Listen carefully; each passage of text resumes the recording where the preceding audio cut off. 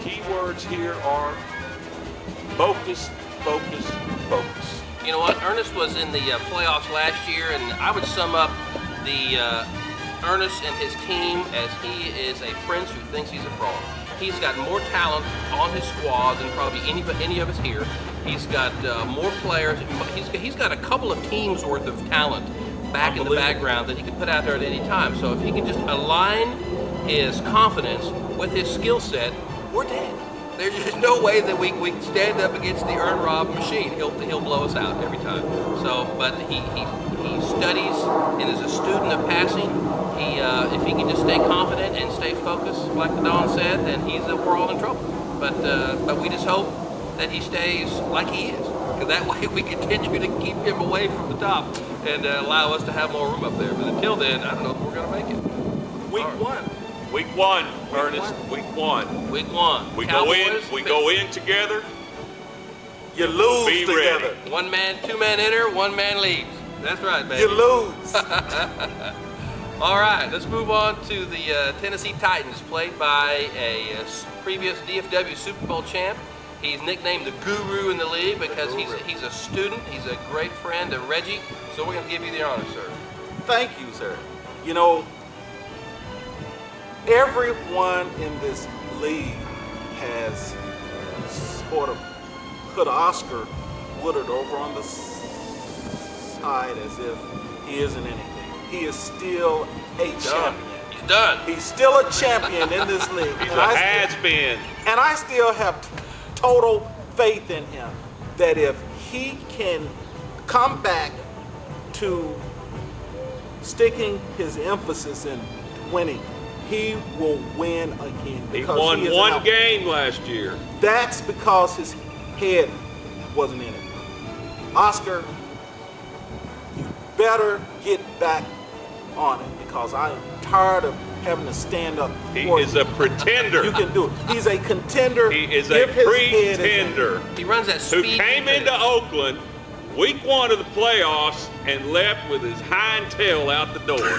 he is a pretender. You hear this, Oscar? You have to stand up and handle up on this. That's all I can have you to say? say. I want to. I want to. Next, I want to go to is a welcome a brand new rookie into the league this year. He uh, lives in just uh, nearby in the Dallas area. He lives in Waco, Texas. He's a high school football coach. He uh, goes on the uh, MSC chat board under Boston 21. His name's Doug Shanfelt, and he's going to be an exciting Doug. player. He is. Hello, Uh, uh, he is.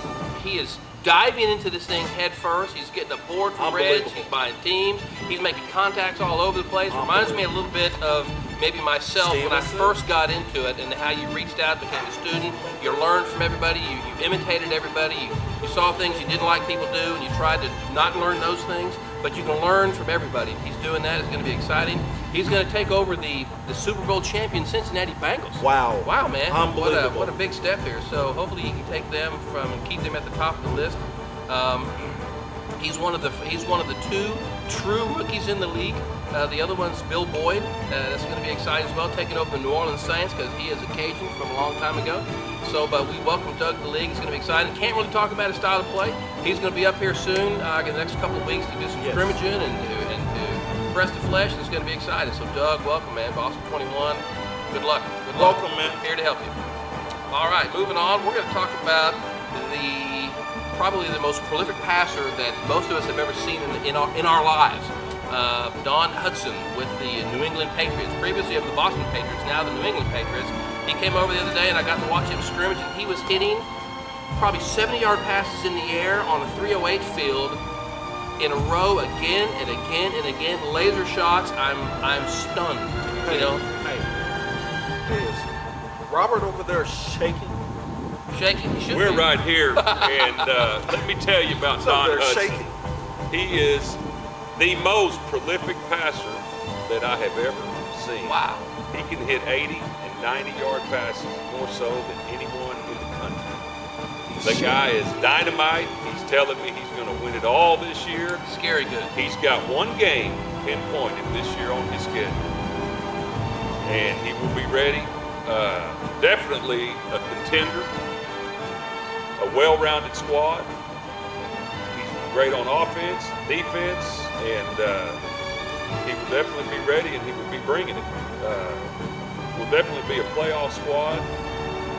I think Vegas right now has him as the uh, the, the odds-on favorite to win the Super Bowl this year. Certainly one of them. There's uh, other people you can talk to as well, but he's one of the folks that uh, that is predicted to go all the way this year and win the title again. It would be, it would be a repeat uh, victory for him in the Super Bowl if he does. If you've got an opportunity to come see this man, come watch him play, come watch him pass, it's a, just unbelievable. I am in total awe. We're going to do our best to, to air some of those games this year through the DFW Network and Reggie, so it's going to be exciting. one of the things on Hudson that everyone overlooks is his strategy.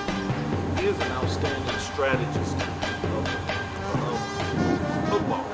Uh, he has every element of understanding how to win. So I'm expecting really outstanding